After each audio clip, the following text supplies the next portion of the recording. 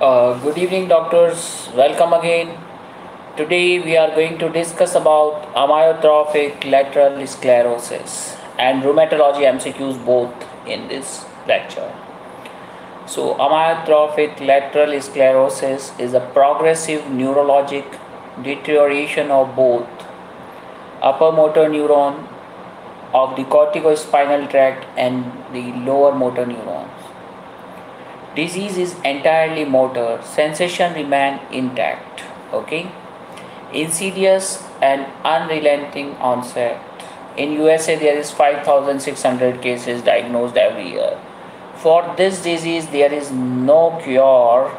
Uh, this man is Lou Gehrig's Good evening, Chamila. This man is Lou Gehrig, baseball player in USA. This man is suffering from amyotrophic lateral sclerosis. And uh, Stephen Hawkins also uh, suffer high, uh, Dr. Medicos, suffering from this disease. And uh, if somebody diagnosed with amyotrophic lateral sclerosis, uh, they live, uh, survival rate is 5 to 6 years only. Okay, in this disorder upper motor and lower motor neuron both are involved okay but this is rare disease rare disease now amyotrophic lateral sclerosis affects both upper and motor neurons and lower motor neuron upper motor neuron symptoms like primitive reflexes especially babinski hyperreflexia spasticity hypertonia clasp knife reflex and pronator drift. All these Babinski uh, reflexes and pronator drift I will make individual video and hyperreflexia regarding this okay.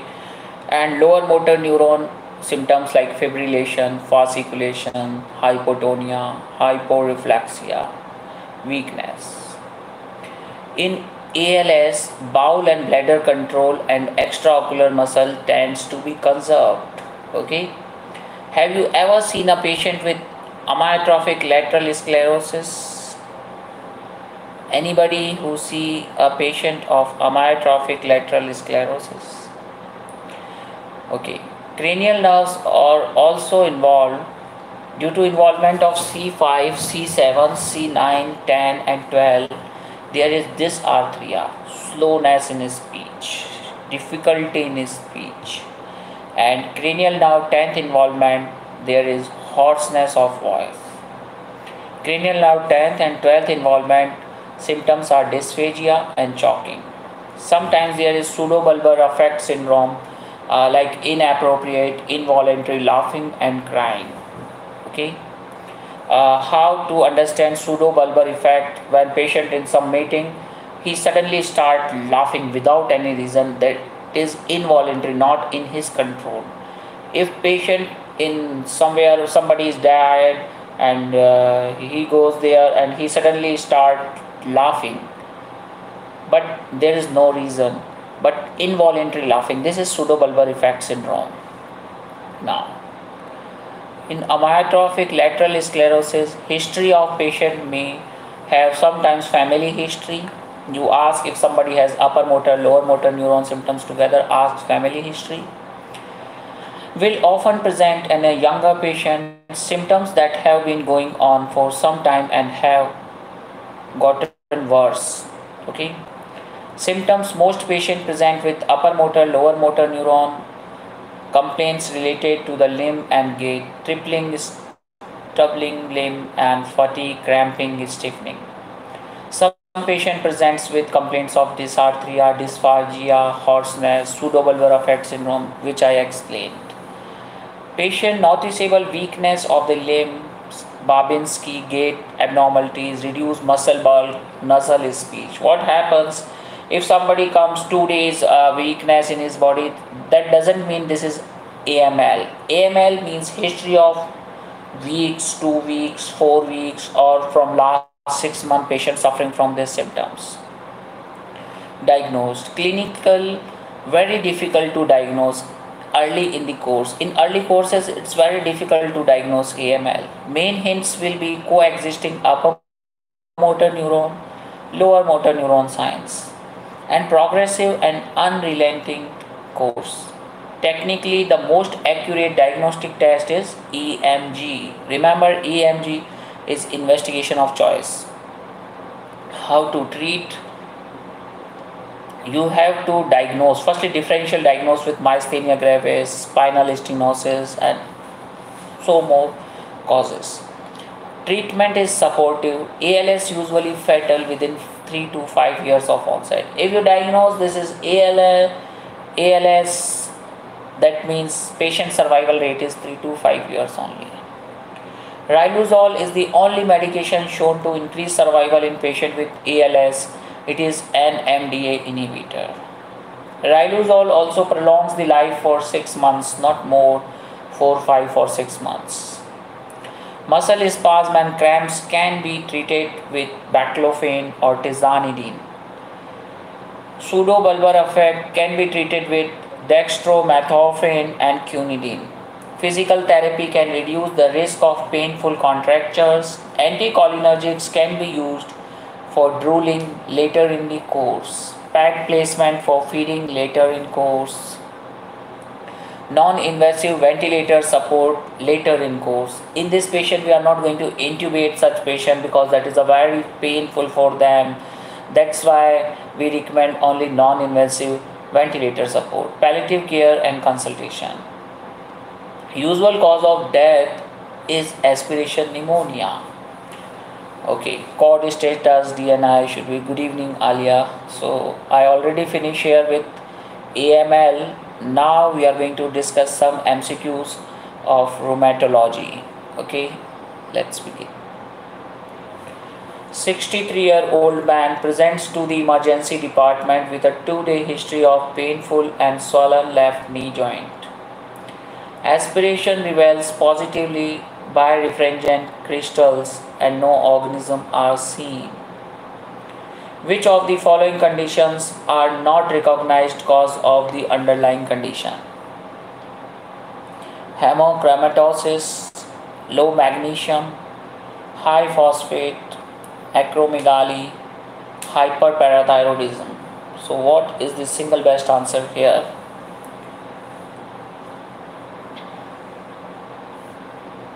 Take 30 seconds and try to answer in the comment box. Shreya answering high phosphate. Yes. Shreya, you are absolutely right. Why? Uh, because low phosphate predisposed to pseudo gout. In pseudo gout, we see hemochromatosis, low magnesium, low phosphate, acromegaly, and hyperparathyroidism is the cause. Now, which one of the following is not associated with carpal tunnel syndrome? Tinel sign, compression of the median nerve, wasting of the hypothenar eminence, flexion of the wrist reproduces symptoms, weakness of thumb, abduction. So what is the single best answer here? 30 seconds in your hands try to answer in a comment box hello rohit so hello dr medicos. So what is the single best answer here? 30 seconds in your hands. Try to answer in a comment box.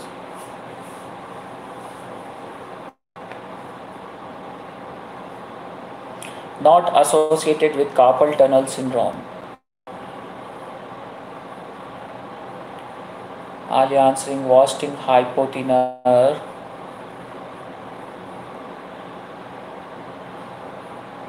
Yes, so answer here is wasting of the hypothenar. Alia, you are right. Eminence now. 45 year old woman with a history of primary Sjogren's syndrome is reviewed in clinic. Her main problem is a dry mouth which unfortunately has not responded to artificial saliva. Which one of the following medications is most likely to be beneficial? Rivastigmine, neostigmine, clonidine, atropine, pilocarpine. Not respond to artificial saliva. So which medication we give for benefit.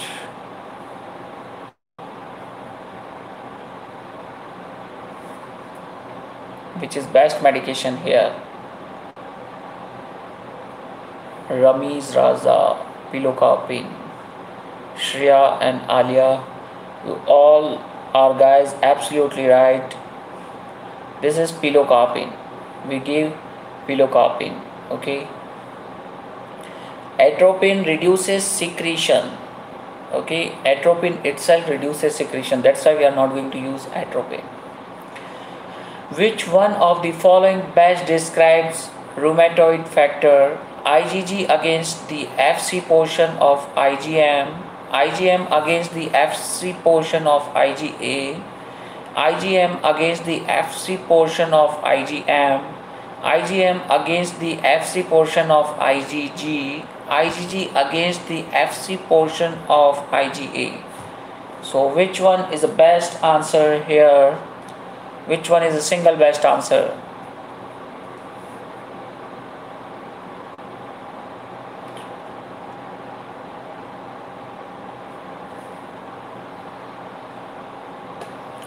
Ramiz Raza answering A. Any more comments?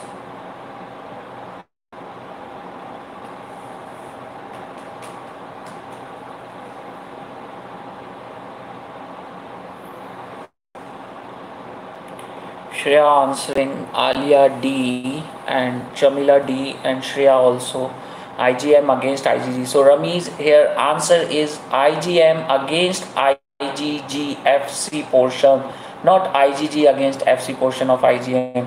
So please correct answer is IgM against the FC portion of IgG.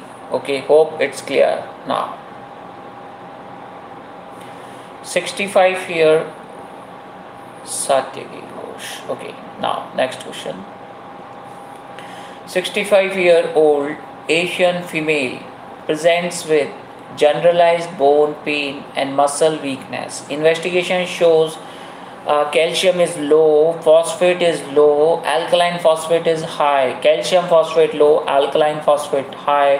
What is most likely diagnosis? When there is low calcium, low phosphate, but high alkaline phosphate, this condition is known as bone tuberculosis, hypoparathyroidism, melanoma, osteomalacia, Paget's disease. So try to answer.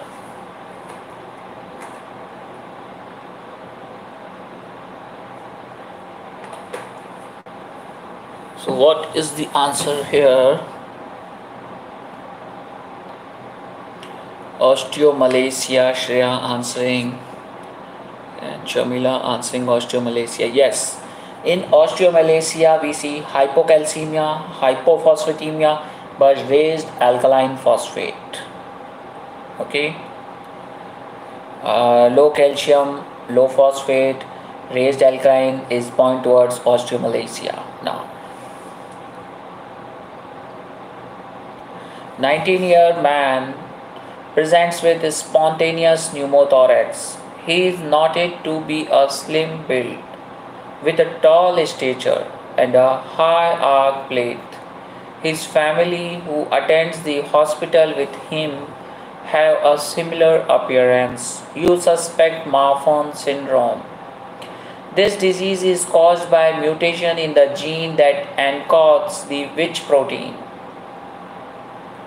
Collagen, elastin, fibrillin 1, tropoelastin, actin. So, which proteins mutation we see in Marfan syndrome? As we all know, I already discussed Marfan syndrome. Uh, Michael Phelps is a swimmer.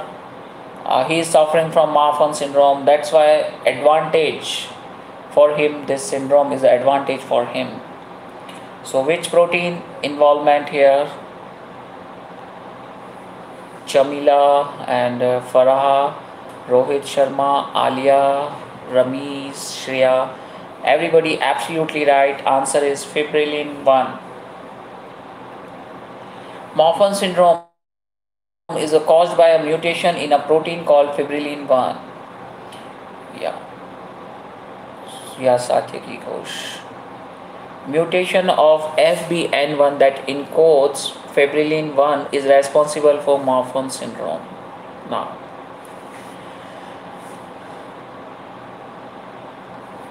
36 year old female presents with her second unprovoked pulmonary embolus 3 months after ceasing warfarin. After her first pulmonary embolus, she has a series of tests done to evaluate for the presence of thrombophilia, in particular antiphospholipid syndrome what is the greatest predictor of future thrombosis in patient with antiphospholipid syndrome? Lupus anticoagulant, anticardiolipin antibodies, beta 2 glycoprotein 1 antibody, antiprothrombin antibody, annexin antibody. Take your time, 30 seconds in your hands. Try to answer in a comment box. Which one is the best answer?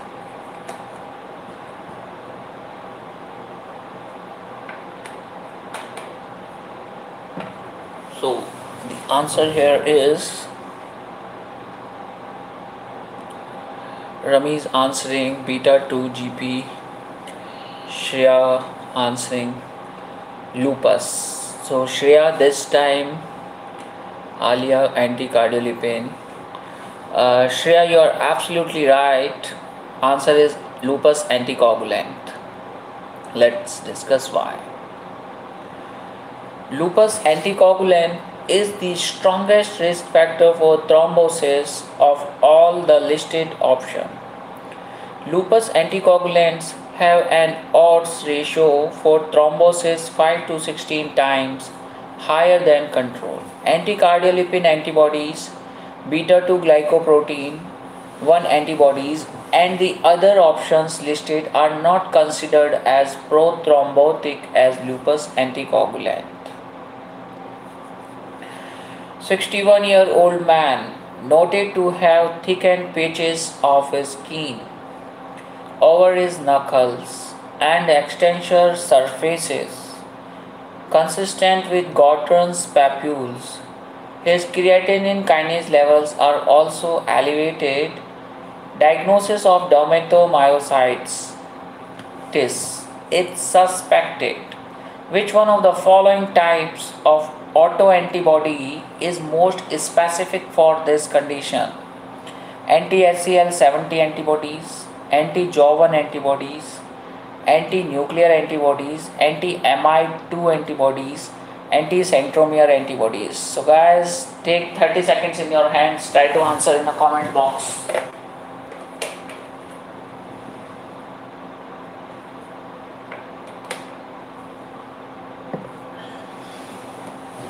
I hope you all will answer. This is easy question. Shreya answering ANA, Farah answering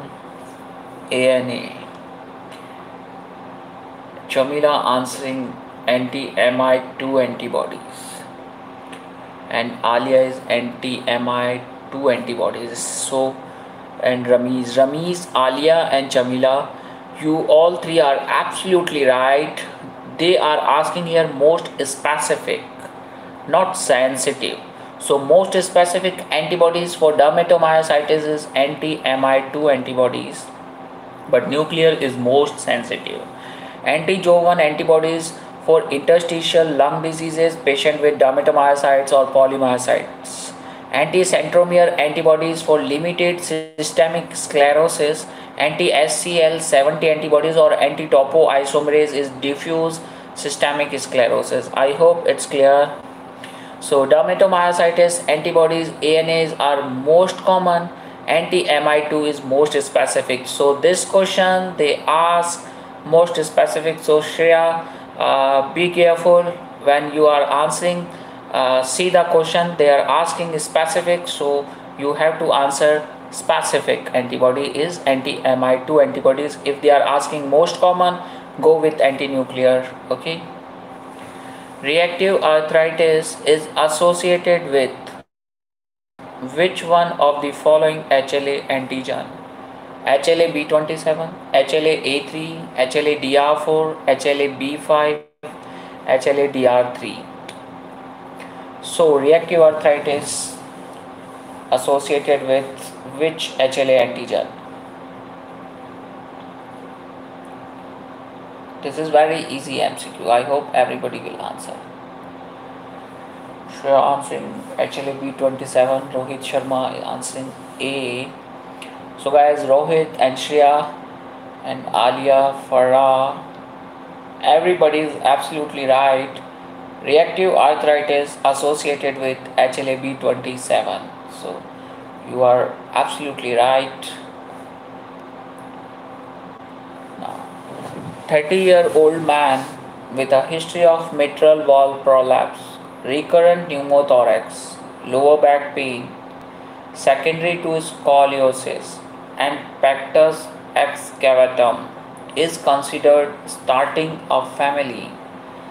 Given the likely diagnosis what is the mode of inheritance of this condition? Firstly you have to write in a comment box diagnosis in which condition we see scoliosis secondary to pectus excavatum recurrent pneumothorax lower back pain. So what is the diagnosis here? Then if we know the diagnosis then we are going to answer uh, what kind of inheritance. Firstly we have to identify what is the diagnosis here. It's Marfan yeah so Alia it's autosomal dominant and this is a case of Marfan syndrome yeah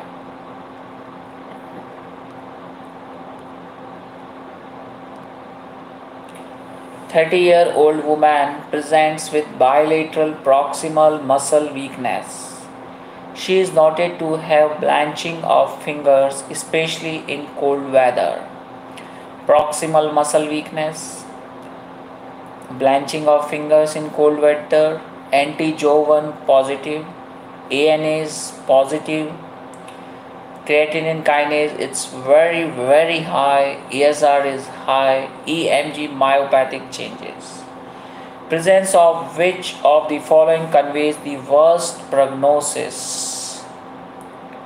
Dysphagia skin rash creatinine kinase more than 2000 interstitial lung disease Raynaud's phenomena so which one of the following represents here worst prognosis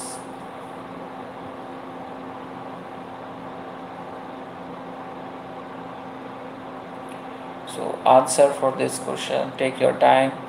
30 seconds in your hands.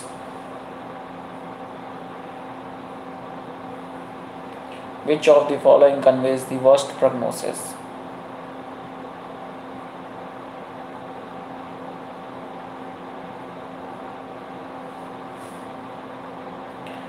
So Shreya ILD, Farah ILD.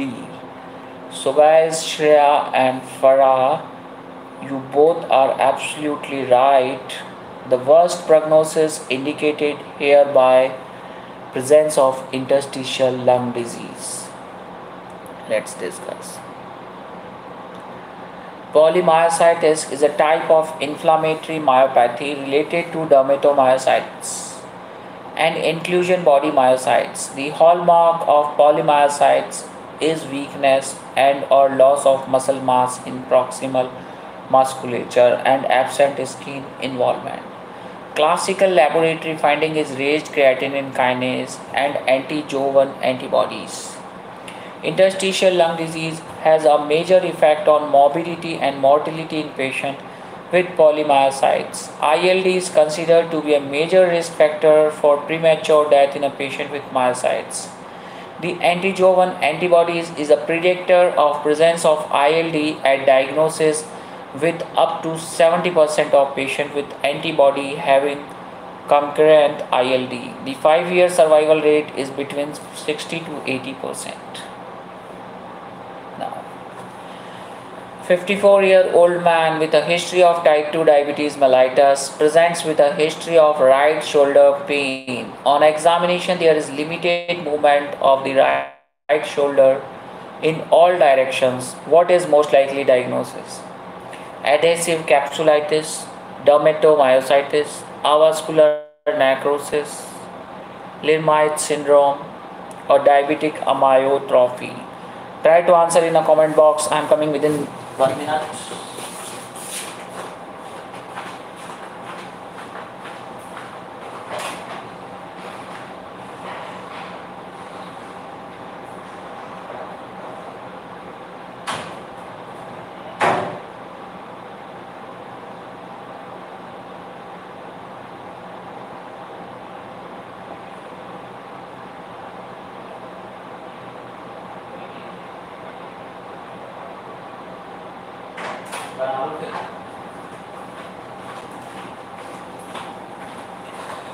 Guys, I feel you all will answer here.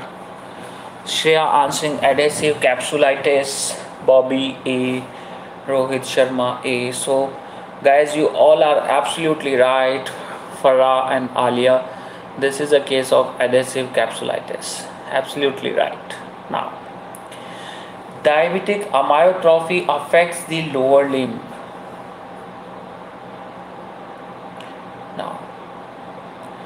17 year old man presents to general practice with recurrent cramping in his arms during a rowing training session. On closure questioning he has noticed a reduction in his exercise tolerance recently. He reports getting a second wind phenomena after a minute of rest. On examination, he is well with no apparent deficits.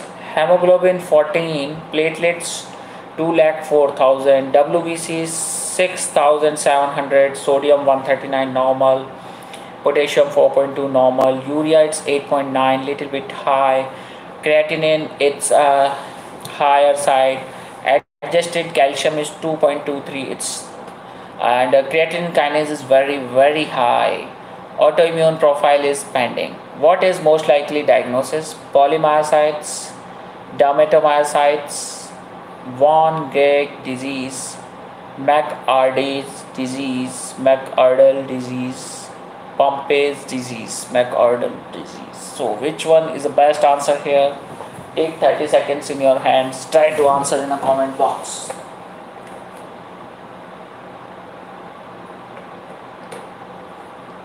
So which one is the best answer here?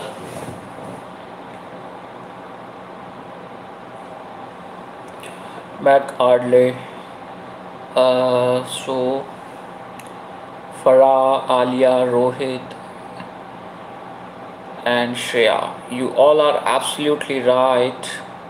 This is case of McArdle's disease, characterized by associated with second wind phenomena and presents with distal muscle cramping in the demographic following exercise. Polymyositis, dermatomyositis would typically but not always cause a more marked increase in creatine kinase, which can be up to 100 times the limit upper limit of normal. Von Gierke patient present with manifestation related to hypoglycemia around 3 to 4 months of of age. Pompe disease tends to also present in infant but with cardiomyopathy and severe generalized muscular hypotonia. Now, which one of the following drug least likely to cause gout? Lithium, bendroflumethiazide, alcohol, pyrazinamide, furosemide which drug least likely to cause gout? I hope this is very easy mcq you all will definitely answer this question. So take 30 seconds in your hands. Take your time. Don't be in hurry to answer immediately. So which one is the best answer here?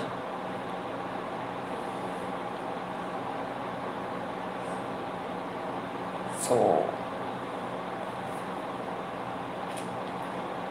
Shreya answering lithium.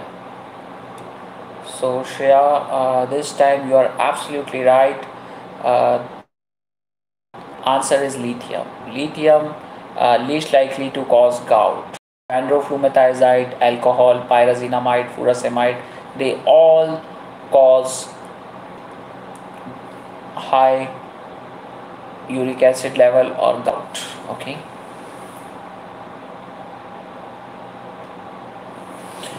34 year old kitchen worker presents with a two week history of pain in her right wrist. She has recently immigrated from Ghana and has no past medical history. On examination, she is tender over the base of her right thumb and also over the radial styloid process. Ulnar deviation of wrist recreates the pain. What is most likely diagnosis? Rheumatoid arthritis, osteoarthritis of the carpometacarpal joint, de Quervain tenosynovitis, carpal tunnel syndrome, systemic lupus erythematosus. 30 seconds in your hands. Try to answer in the comment box guys i feel 30 seconds is more than enough if you answer. Okay. So answer here is Shreya and Brahmachari Alia and Farah Rohit everybody answering de Quervain tenosynovitis so this is answer. So you all are absolutely right. Looser's zones X-ray are most characteristically associated with which of the following condition? In NEET examination, PG examination, this is favorite question they like to ask. Looser's zones X-ray are most characteristically associated with which one of the following condition? Primary hypoparathyroidism, hypoparathyroidism osteomalacia Paget's disease और osteoporosis so which one is the best answer here losers John Shreya answering osteomalacia yes answer is osteomalacia and Brahmachari Januk Brahmachari. Answer is osteomalacia. You are absolutely right. This is a case of osteomalacia. No, Rohit. Looser's zone is seen in osteomalacia, not in osteoporosis. Remember, osteomalacia. Now, 25 year old woman presents with a 3 day history of dysuria and a painful left knee.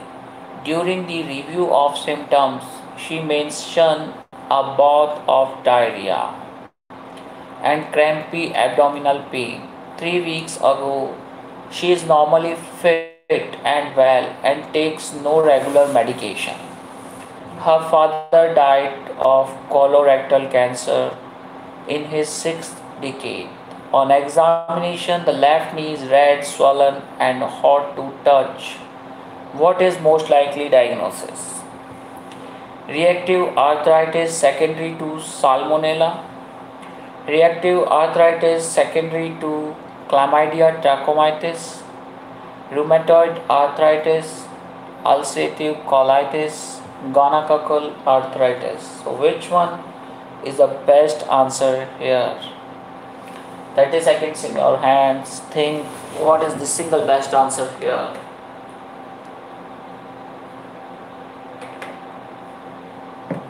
So the answer here is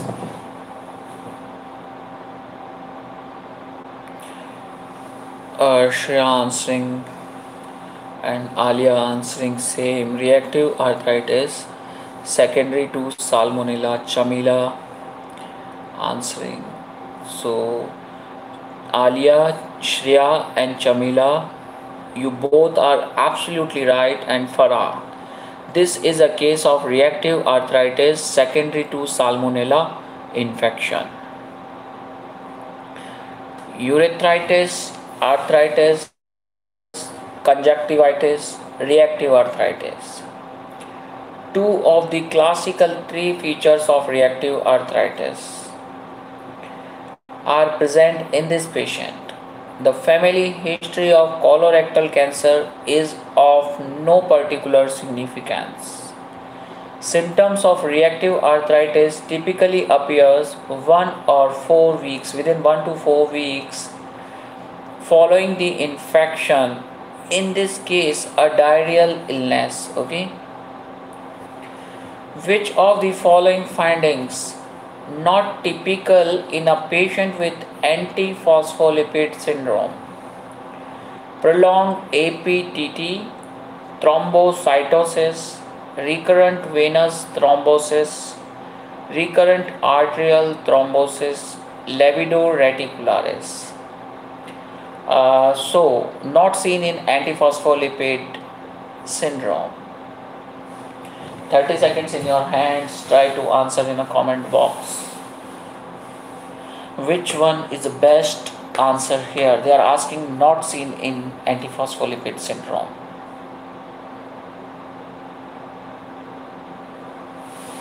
Alia answering thrombocytosis. Any more comments? Rohit is also thrombocytosis. So, guys, uh, Rohit and Alia, you both are absolutely right. In antiphospholipid syndrome, we see prolonged APTT, recurrent venous thrombosis, recurrent atrial thrombosis. Uh, yeah, Shreya, you are also absolutely right. So, thrombocytosis is the answer.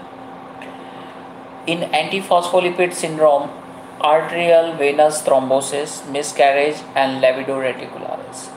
Thrombocytopenia associated with antiphospholipid syndrome. Now, 59 year old man with a history of gout presents with a swollen and painful first metatarsophalangeal joint he currently takes allopurinol 400 mg OD as gout prophylaxis. What should happen to his allopurinol therapy? Stop and recommence 4 weeks after acute inflammation has settled. Reduce allopurinol to 100 mg OD until acute attack was settled. Stop and switch to colchicine prophylaxis Stop and recommence two weeks after acute inflammation has settled. Continue allopurinol in current dose. So, which one is the best answer here? In such scenario, which one is the best answer? 30 seconds in your hands, try to answer in the comment box.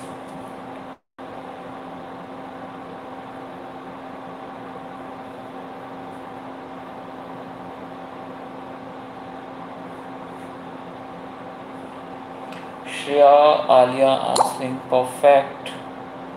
So answer here is Farah and Bobby. You all are absolutely right. Answer is continue allopurinol in current dose. Yeah. 28 year old woman who has rheumatoid arthritis is to be started on etanercept injection after falling to respond to methotrexate and sulfasalazine. Which one of the following adverse effect associated with the use of etanercept? Triggering Churg-Strauss syndrome, thrombocytosis, tendonitis, cardiomyopathy, reactivation of tuberculosis. So which one is the best answer here? Take 30 seconds. Don't be in hurry. They are asking adverse effect of etanercept use.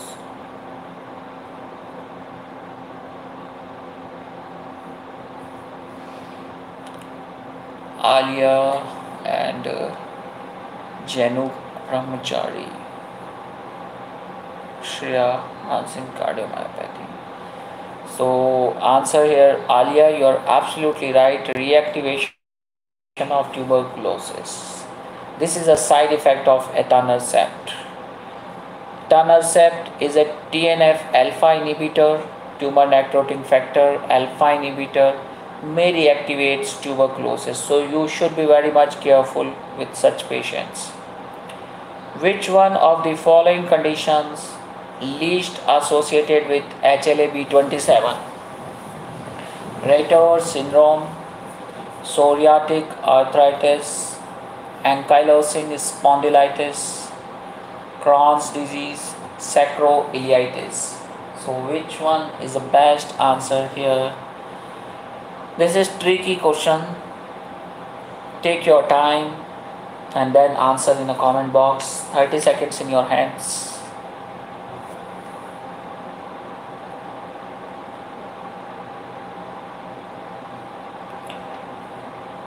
Alia, Jamila, Crohn's, and uh, so Shreya Crohn's, Farah Crohn's, Rohit Crohn's. So answer here is Crohn's disease, guys. This is uh, least associated with HLA-B27. There is diff is an indirect association between HLA-B27 and Crohn's. Some patients may develop enteropathic arthritis but this is the least common association of the above.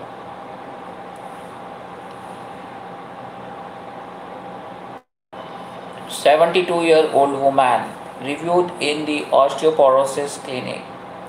She had a hip fracture five years ago, after which she was started on alendronate. This had to be stopped due to persistent musculoskeletal pain. Risedronate also had to be stopped for similar reason. Strontium ranelate was therefore started, but this was stopped following development of a deep vein thrombosis. Her current T score is minus 4.1. Sorry. It has therefore been decided to start a trial of denosumab. What is the mechanism of action of this drug? Monoclonal antibodies against osteoprotein, selective estrogen receptor modulator, inhibit rank ligand, which in turn inhibit maturation of osteoclasts promotes differentiation of pre-osteoblasts to osteoblast inhibit osteoclasts. Pyrophosphate analog which inhibit osteoclast activity. So which one is the best answer here?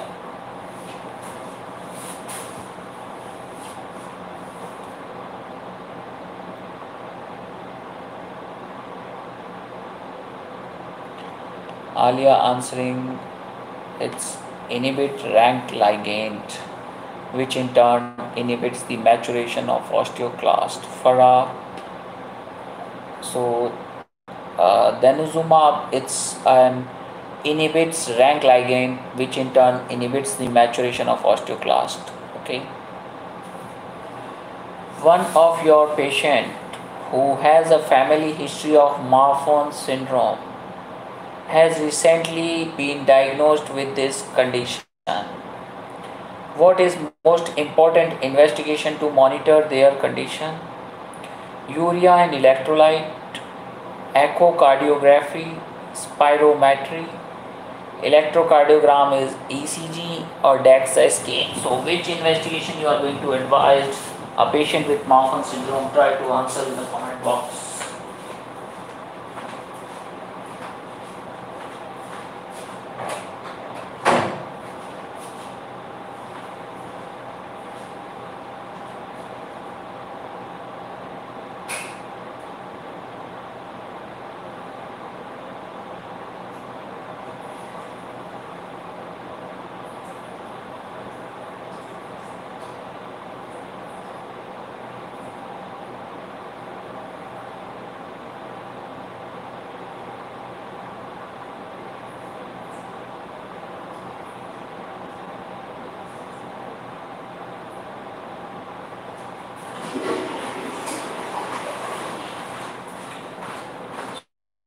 So which one is the best answer here? I hope you everybody will answer. Eco rohit sharma and shreya and farah. Everybody answering to the echo. Yes. Alia so answer is echocardiography guys. Why? Marfan syndrome associated with dilation of the aortic sinuses which may predispose to aortic dissection. Potential complications of Paget's disease include each of the following except deafness, cerebral calcification, skull thickening, bone sarcoma, fractures. So in Paget's disease, which complication we are not going to see? Take your time, try to answer in a comment box. So answer here is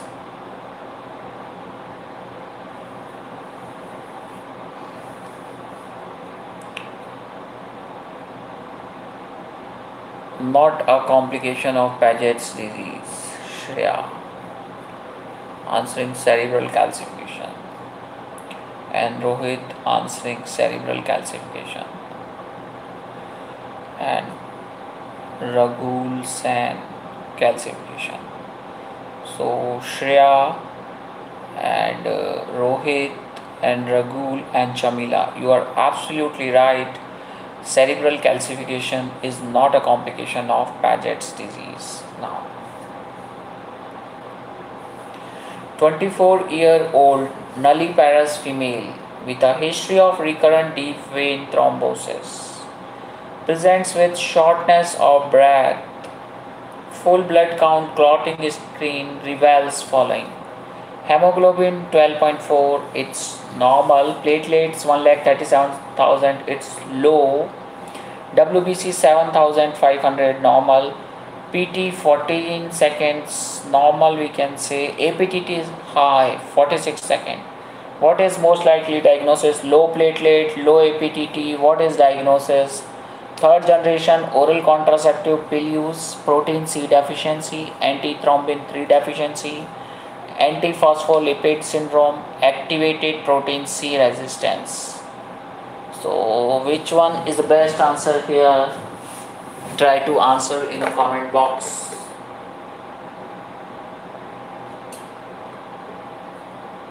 So the best answer here is